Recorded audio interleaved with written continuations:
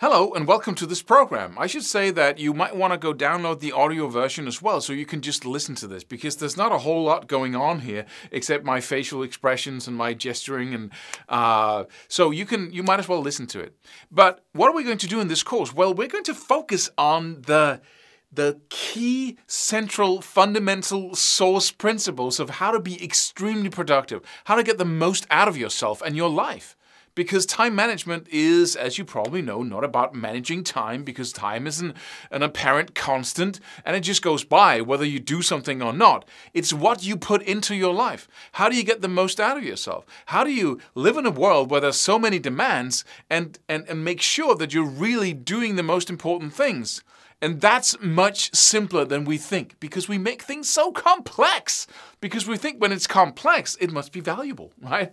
Because look at all the things I know about time management and what I can do with it in my lists and my little, uh, you know, though there's nothing wrong with all that. But we need to have that core understanding of what is central here.